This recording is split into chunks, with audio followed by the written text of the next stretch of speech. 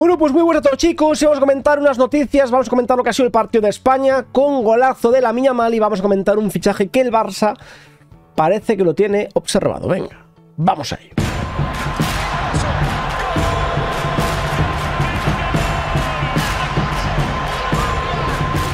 Bien, que decía, vamos a hablar un poco de un posible fichaje del Barcelona, de uno de los nombres que salen ahí, que siempre hay alguno que el Barça está intentando fichar o que lo tiene en la agenda, pero primero vamos con la victoria de España 1-3 contra la selección de Chipre. La verdad es cierto que es una selección que no es muy fuerte, la verdad que Chipre Hoy ha tenido unos errores defensivos y tal impresionante, es cierto, no es una gran selección, aún así han marcado un gol, han sido valientes, han tenido unos minutos buenos, pero victoria de España, que bueno, ya está clasificada para la siguiente Eurocopa, busca ser como primera de grupo, que yo creo que sí, eh, y como digo, eh, hemos ganado por 1-3, el primer gol de la Miña Mala a los 5 minutos, la verdad que un buen gol, un buen gol, balón que le llegaba al segundo palo, recortaba a el portero, otra vez un amago a un defensor, esto todo en el área pequeña y gol. Gol de la Miñamal que no se pone nada nervioso, que mucha gente le quita mérito porque es contra esta selección, pero hay que estar ahí, hay que marcarlo. Si no marca gol, porque no marca gol. Si marca gol, es que es Chipre. El tema es que siempre hay que menospreciar y siempre hay que quitarle valor a todo. O sea, es que me parece increíble, pero esto es el día a día en cualquier cosa siempre se le quita valor y se le resta importancia a las cosas que hacen otros. O sea, es algo que de verdad eh, es increíble. Un gol de la Viña Mal con solo 16 años. 16 años, la verdad es que desde que debutó con España lo está haciendo de maravilla. De maravilla. Ya está con goles, asistencias y hoy fue su tercer partido oficial, lo que significa que la Miña Mal ya jugará con España para siempre. España quería que jugase este tercer partido. Con este tercer partido ya España se asegura que la Miña Mal no puede jugar con otra selección. Por lo cual creo que es una enorme noticia porque es un jugador con un talento, con un potencial, con unas condiciones extraordinarias.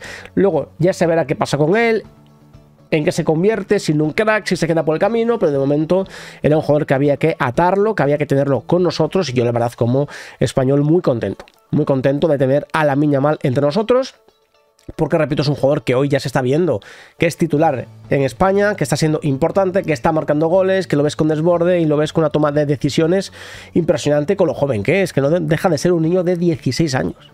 Un niño. Como digo hoy, pues ha sido determinante para esta victoria y para abrir el marcador, al igual que Gaby también ha jugado bien, luego marcaría gol Oyarzábal, también lesión de Oyarzábal, la verdad es que esto de los parones es lo peor el tema este de las lesiones y tal. Ayer ya hemos visto con Camavinga, el Madrid se queda sin él dos meses. Ahora, Oyarzábal, que es clave para la Real Sociedad, a ver qué es, pero es lo malo de estos parones en mitad de una temporada que hay muchos lesionados y... En fin, en fin.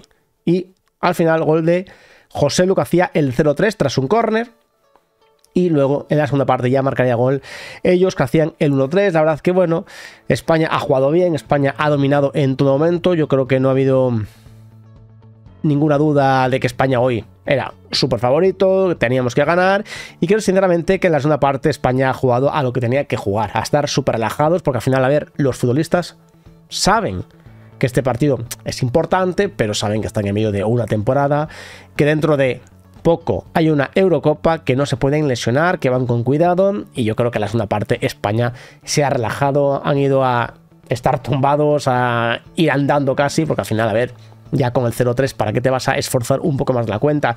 ¿Para qué vas a meter la pierna donde sabes que quizás te lesionen? Es normal. Es normal, pero bueno, una victoria bastante cómoda. Partido en general, quitando la primera parte, aburridito, porque cuando una selección es tan superior, es verdad que en mi selección que estoy contento, pero emoción ninguna. Emoción ninguna. Es así, lo único bueno es esto, que gol de la Miña Mal, muy contento con él. Con muy buenas cifras en España. Y Jesús Navas, que hoy eh, estaba jugando como el más veterano en jugar con España, 37 años, y la Miña Mal, el más joven, 16. 21 años de diferencia. Eh. Qué locura. 21 años de diferencia. Me parece que es la mayor diferencia que ha habido entre dos jugadores de la misma selección. O sea, es una auténtica locura. Y vamos a hablar de un nombre que dicen que el Barça lo tiene observado, que es Matt Wiffer. Me parece que se dice así del Feyenoord, que el Barça lo vigila muy de cerca, cuya progresión en el último año ha sido excelente. El holandés encaja en los principales ideas que tiene el Barcelona, joven, pero ya con cierta experiencia, asequible a nivel de precio y con mucho potencial. 24 años, como digo, es un jugador que tiene muy buena pinta, puede jugar como interior o como un pivote. El Barça busca pivote. Mañana es posible que si tengo tiempo hago un vídeo de esto, porque hay muchos pivotes que están sonando en las últimas horas. El Barça busca pivote sí o sí, porque aparte de Oriol Romeo, que fue lo único que hemos podido fichar en este mercado, que nos hemos gastado 3 millones, el Barça busca un pivote mucho más joven, con muchas muy buenas condiciones, con mucho potencial y que sea más o menos a un precio asequible. Bueno, este es un jugador que la verdad que tiene muy buena pinta, que como digo es bastante polivalente y que gusta mucho a el Barcelona. Mide 1,88. Es una bestia.